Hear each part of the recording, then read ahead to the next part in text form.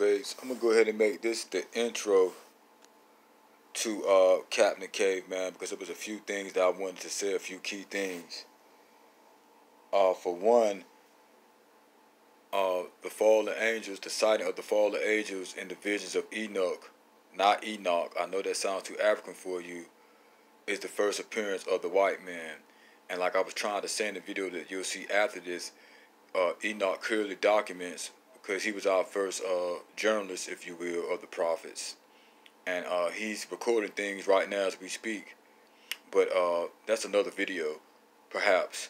But uh, he clearly documented that he had seen angels before, so he knew they were angelic beings or the his immortal brothers of Elohim, but they appeared to be white men, but he didn't know if they were men or women. Now pause. The angels did not look like the sweet little uh, baby boy angels, naked boy angels, and white girl angels that you see. Um, I went over this in uh, my prior videos from last summer. So this is the sighting of the first Enoch, the visions of Enoch were the sighting of the first white man. And then in the video um, that you'll see after this, we'll uh, get into it more. But I'm gonna make this the uh, the intro to Captain Caveman. But this is what he saw. He didn't know if they were. He said they appeared to be white men, but he knew they were his immortal brothers. But this was the introduction to the white man on the earth that was saw by the in the visions of Enoch. And If you read the book of Enoch, um, it proves that uh, white people, which history and science are to prove that they have only been on Earth 6,000 years, and science proves that we have a, at least a 24,000 head start ahead of them because we've been on Earth that science can prove and history can prove 30,000 years, but science and history cannot go back to the beginning of time.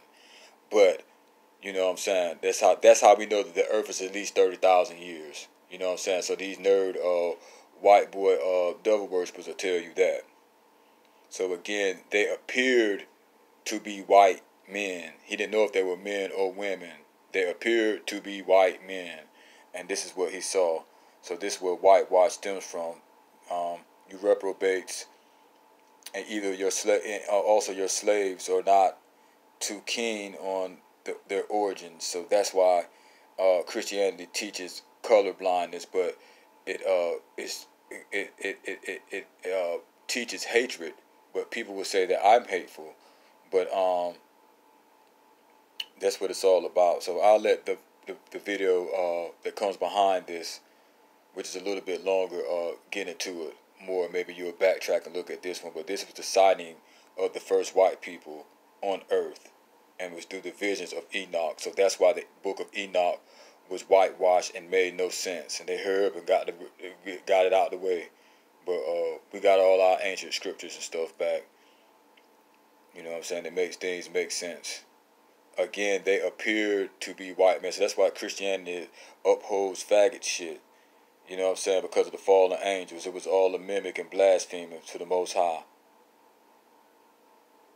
Like I said, you don't know if he's a boy or a girl. He's both. Remember I said that in my prior videos. But yeah, this is the intro to Captain Caveman. I am the full blown Yahuan, Spanking Austin. Spank Tudor. Better Hot.